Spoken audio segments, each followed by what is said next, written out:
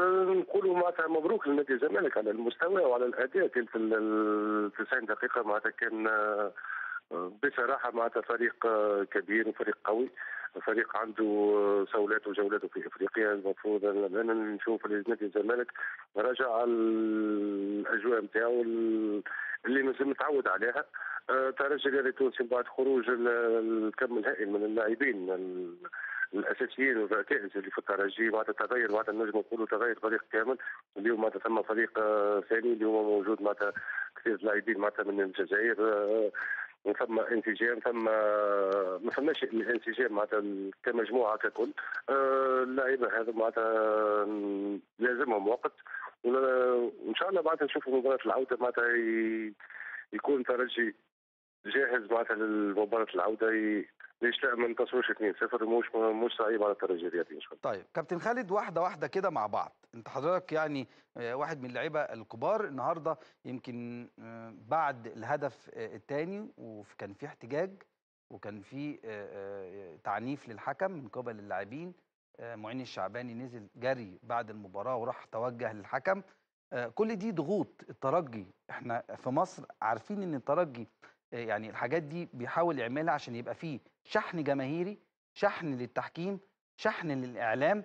أه بتمنى زي ما المقابلة كانت في مصر من المسؤولين في نادي الزمالك؟ خدوا المسؤولين في نادي الترجي وكانوا أه يعني كان كل ترحاب أه من قبل نادي الزمالك للمسؤولين في الترجي. جماهير النهارده دخلت بجواز السفر أي عدد كان موجود دخل. يعني شفنا حتى لعيبة نادي الزمالك كانوا خارج الاحتكاكات اللي موجودة ما بين لاعبي الترجي والحكم النهارده. يعني بتمنى إن المقابلة اللي جاية يكون فيها هدوء وفيها نفس الاستقبال اللي تم من قبل مسؤولي الزمالك للترجي. يبقى نفس المعاملة بالمثل وإن المباراه تخرج فيها روح رياضية. وحتى لو الترجي فاز نقول له مبروك وهي دي كرة القدم. والله أنا شفت معناتها شفت المباراة معناتها شفت معناتها الأجواء معناتها كانت طيبه كان ثم روح رياضيه كبيرة هذا معناتها ثم استفزاز يعني نجم تقول معناتها اللعيبة حسوا اللي ثم استفزاز من الحكم.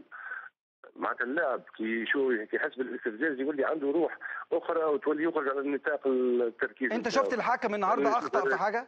انت حضرتك شفت الحكم لا اخطا لا لا, لا, لا, لا أنا بصراحة انا تكلمنا نتكلم معاك على على على على اللاعب على آه. أنا لاعب كره قدم معناتها ثم اللاعب إيش يحس اما أنا كي تشوف كي تشوف المباراة كي شفت المباراة المباراة معناتها عادية مباراة آه. معناتها اجواء طيبة معناتها ثم روح رياضية كبيره ما بين الفريقين الاثنين ما فماش ما فيش معناتها ما فيش اندفاع بدني كبير ولا ضغط ولا شحن على على اللاعبين.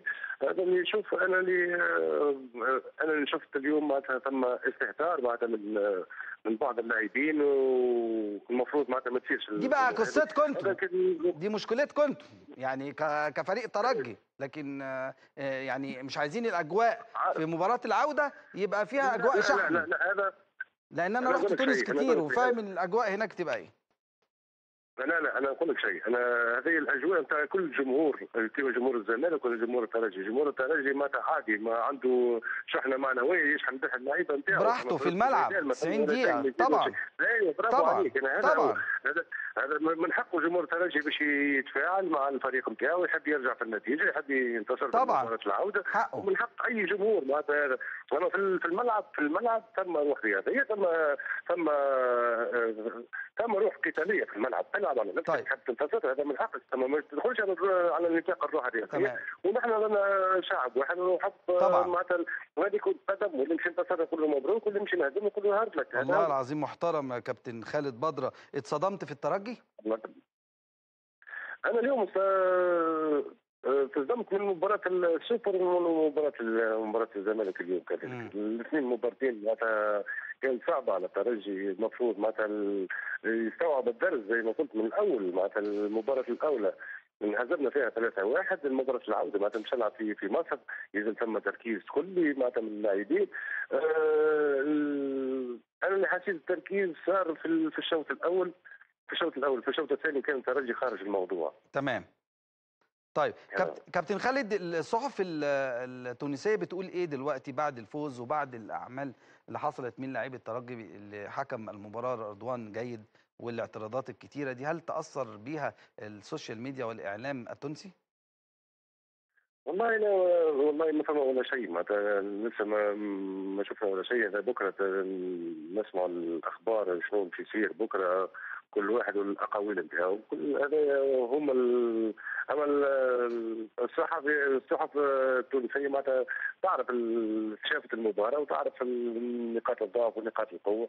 وأنا اللي نشوفه معناتها ترى ال- الانتصار اليوم تاع نادي الزمالك ما سرقوش من الترجي يعني بصراحة معناتها كان انتصار منطقي انتصار آه، فريق قوي اليوم كما السنة اللي فاتت الترجي في ربيع الأبطال كان قوي انتصر على على الرجاء وعلى وعلى الوداد البيضاوي وانتصر على الأهلي بال بالروح القتاليه تاع اللاعبين نتاعو وعنده حنكة اللاعبين وخبرة اللاعبين.